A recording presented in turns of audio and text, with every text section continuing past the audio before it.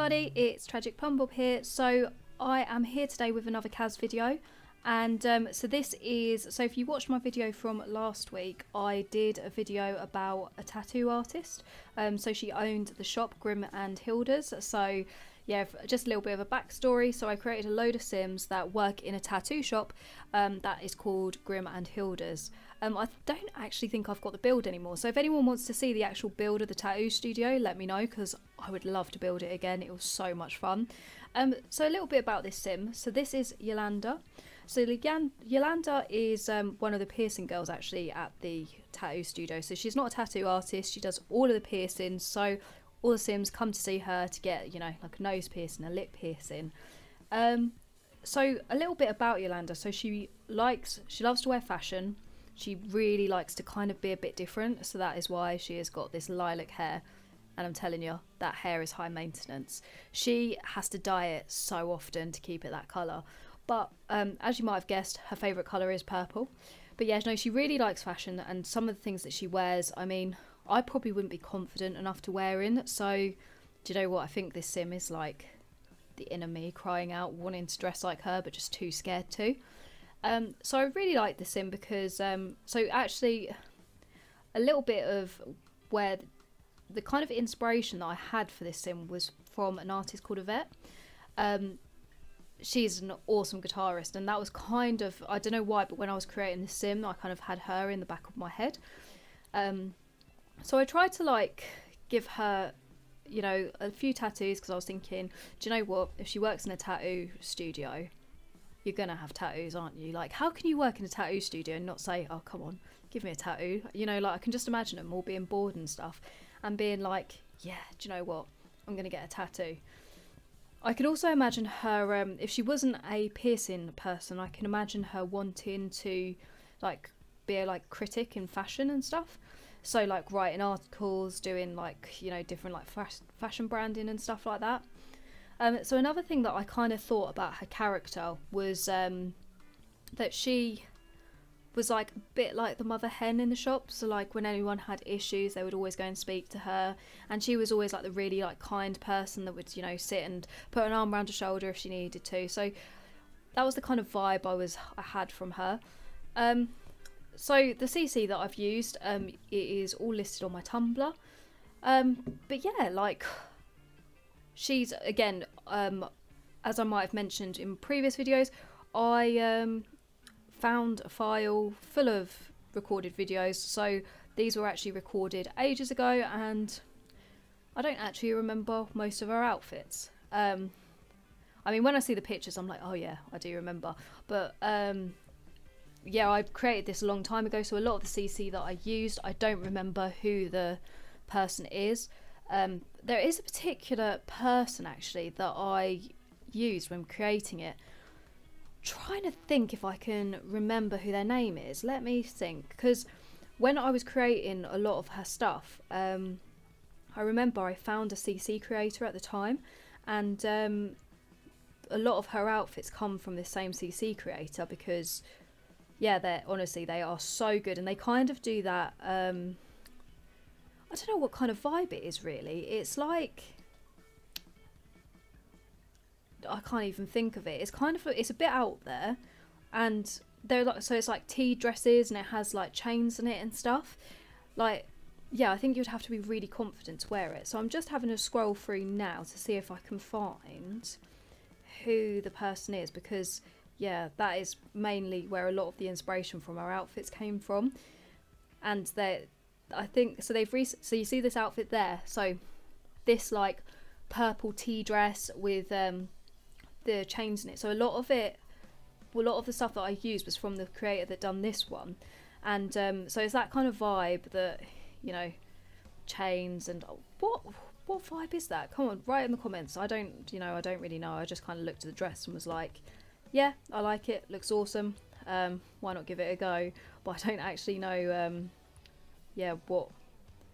Let's have a look. I'm just having a look on my Instagram now to see which. Aha, here we go. Avel Sims. So I've got her on uh, Tumblr as well. So Avel does loads of outfits and stuff. I hope that's how I say your name. Apologies if it's not. But she does a lot of outfits where they're really bright colours and they've got like chains on them. But she does so many swatches, so you can like just have an all black dress if you wanted to. But she has all the bright colours as well. And I felt for this character, she was more like the purples and you know quite bright colours. So yeah, go and check out Avelle. As I said, you can find all of the CC to this sim on my Tumblr. Um, so at the moment we're just having a look. Is that bedwear? Yeah, we're having a look at bedwear. There's the uh, go-to slippers that are in game. Yeah, I mentioned um, in my previous video that I haven't actually used EA game, not EA games, like EA like Sims clothes in yeah, ages. I've literally just been going to custom content. I haven't bought any of the kits because I, it's not that I don't see the point. It's just that I can't be bothered spending money when I don't have to. Um, but I mean, I really want to know whether the kits are any good because I'll be honest, I haven't even seen many people banging on about them, and the reviews that I've watched on them, they they haven't been like, yeah, you need this pack. It's very much like, meh, give or take. It's, it's all right. I'm kind of happy I've got it. Not like you know you don't have to have it. So I'm like, well, what's the point? Don't really want it then. So we're just moving on to um, the party wear now. So the thing with um, when you do choose hair colours that are this colour, because this isn't, I'm pretty sure that this isn't an, an EA swatch. I'm pretty sure this is a swatch from somewhere else. So something that I that annoys me quite a lot is if you obviously choose that hair color, then you've got a, you can only choose um, like specific, specific hairs that have that color as well. So there isn't a lot of like different ones that you can have. So I'm pretty sure throughout this whole video she has got pretty much the same hairstyle or maybe a, like one other different one such as this one. Um, again, as you can see right now, I mean apart from um, clothes, I yeah again went for the very like black tones and stuff and I really was I'm really trying to stop using that so I do have a few videos that will be coming up soon that are completely different. They're not like there's not very much like black clothing at all um, and it is a bit more like colors and a bit more bright and stuff. So the other thing as well that I've been trying to do and I've I find it really difficult is I sometimes make my sims like faces all look very much the same. And I think a little bit like for me I always find that my sims are sometimes are just a bit too pretty and I want them to not be like pretty sims. I want to have a variety of different people that all look you know different like just completely different. But no I really struggle with trying to like try different things like I'll always go to the same nose shape always same like lip shape and stuff and I'm trying to get away from that to try and make it a bit more versatile. Um same with bodies and stuff so I've been trying um I haven't got any videos recorded but on my Instagram I've been trying to use all different types of body shapes as well just to make it a bit different a bit versatile because you know we're not all the same size we're not all you know small we're not all large so I have tried to make all different types of sims and I mean eventually what I would like to do is um, have it so that you can download The Sims into your game. But some of the reason why I haven't done that is because previously there's been some CC content that's been behind paywalls, and I'll be honest, I've been so tempted to get it that I did end up buying it. So I don't know what you know the rules are between me sharing these and give giving those that content away and I'll be honest, I don't remember I don't remember which ones were behind paywalls and which ones are. Do you know what I mean? So I've, I'm always a little bit I'm in an R because I don't mind sharing stuff with any of you guys. I'd love you to use my Sims in your game, but I don't know where I stand on giving you content that's behind paywalls. Like if that was me, I don't know if I'd be entirely happy, but yeah, bit bit of a tricky one but i mean what i might do in the future is actually go through each sim see which ones are behind paywalls and then hopefully you can download it. The other thing as well that i'm slightly worried about is um, so you might notice that the tone of my sim is slightly different to the one that you're looking at in your game.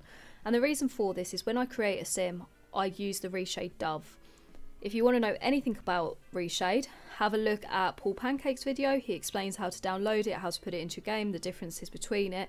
But I use Reshade all the time. I think quite a lot of people know about this now, but it basically changed the shade of your game. Um, so if you were to download this sim and have it in the normal Sims shade, their skin tones do look slightly different and in my personal opinion, I don't think they look as good. And that's also like makes me slightly worried for people to download it because I think they would think, oh, I'm downloading exactly this. But being perfectly honest, it's not exactly this because I do use Reshade, but that's just how I like to play it. But let me know your thoughts. What do you think about me putting my Sims up for download? I'd be really interested to hear. Um, we are shortly coming up to the end of the video, and every time I get to the end of the video, I'm always chatting, and I don't let you guys like see the final like uh, photos and stuff. So I am going to try and be quiet. But if you are interested in um, watching more of my videos, please feel free to subscribe. I'd love to see you next week, and um, hopefully there's going to be some more build videos. Well, not hopefully. Few week, I think next week or the week after, I'm going to be starting to doing some build um, build videos and stuff to do with my save file. So yeah, awesome. Well, I'll hopefully see you all next week. Bye.